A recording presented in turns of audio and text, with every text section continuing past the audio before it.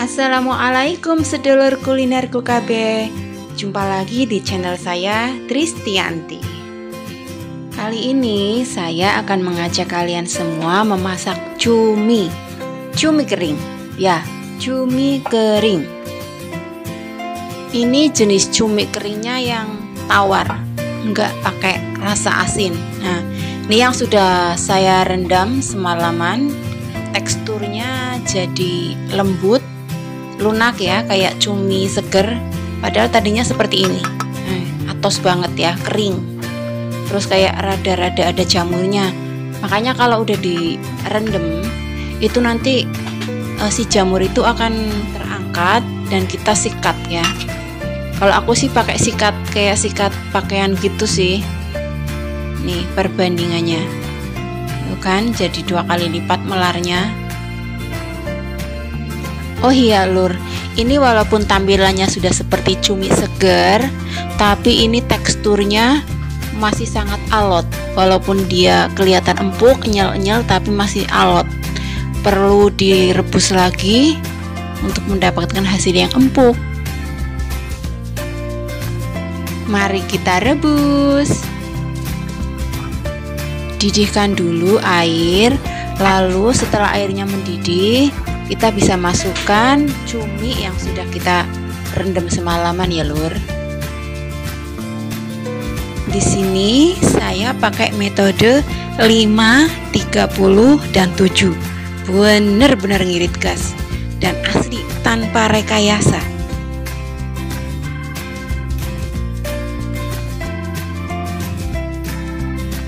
Nah, ini setelah selesai saya menggunakan metode 5 30 7. Setelah uap airnya sudah benar-benar habis, tapi ini masih anget-anget ya.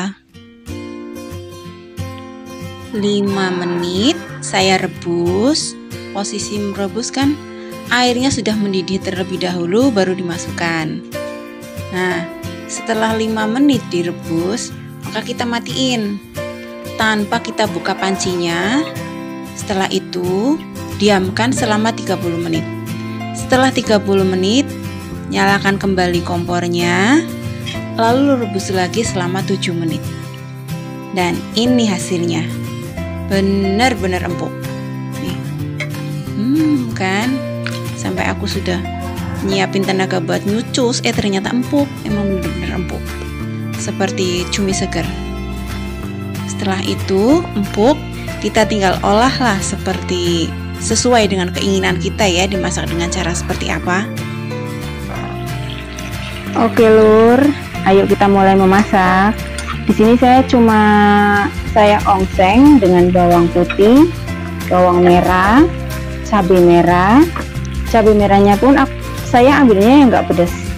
Kalau jenengan pengen yang pedas bisa ditambah dengan cabai doer ya cabai merah kecil-kecil yang pedas banget itu sini saya kasih jeruk nipis biar sedikit mengurangi bau amisnya. Saya tambahkan kecap terus pakai kaldu. Jangan lupa gula merah sama garamnya diikutkan ya lur. Nah ini setelah layu dan mengeluarkan bau harum kita masukkan cumi yang sudah dipotong-potong jangan lupa diaduk biar bumbunya merata ya lur.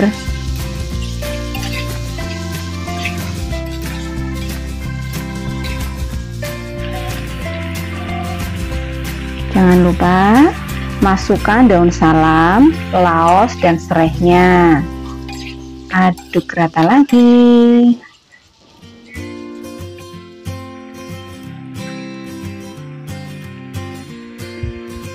boleh tambahi kecap sesuai selera ya lur.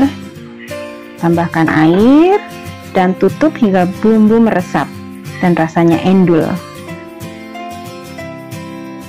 Oh iya lur sambil menunggu bumbu meresap dan rasanya endul jangan lupa ya lur like subscribe serta komennya.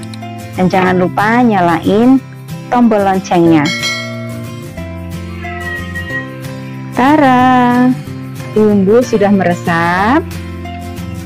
Nah kita aduk lagi. Sebelumnya kita koreksi rasa dulu ya lur.